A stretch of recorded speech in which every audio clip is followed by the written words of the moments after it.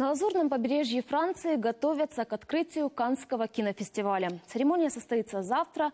В этом году фестиваль юбилейный, 70-й. В городе повышенные меры безопасности. О том, как идет подготовка и о фаворитах, расскажет Алексей Пшемыский. Тысячи полицейских, бетонные блоки и барьеры, отряды морских пехотинцев и береговой охраны. И совсем неподалеку красная дорожка, гламур и запах дорогих духов голливудских звезд. Канны готовятся к 70-му ежегодному кинофестивалю.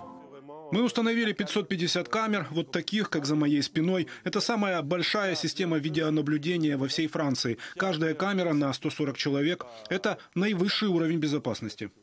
После прошлогодних терактов меры безопасности невиданные. Сегодня полиция оградила одно из любимых мест туристов и фотографов-любителей – забор у дороги к дворцу фестивалей. Каждый год еще за несколько дней до открытия здесь ставили лестницы, чтобы занять место и получить эксклюзивное фото звезд. Многие стремятся сюда специально ради этих нескольких кадров.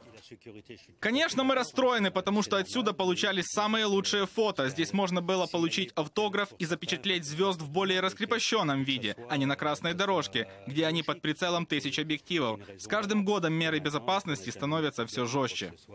Несмотря на тень прошлогодних событий, еще вчера на Лазурном побережье начали собираться кинозвезды.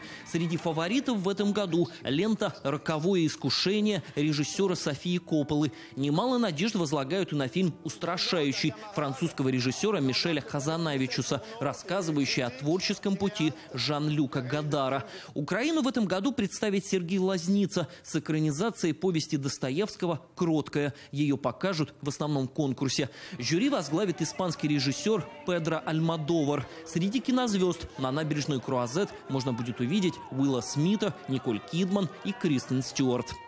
Канский фестиваль – первое крупное событие на Лазурном побережье после теракта в Ницце в июле прошлого года.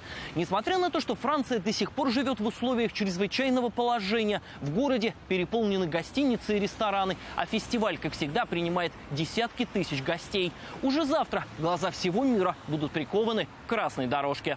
Алексей Пшемыский, Иван Ермаков. Подробности Европейское бюро телеканала «Интер».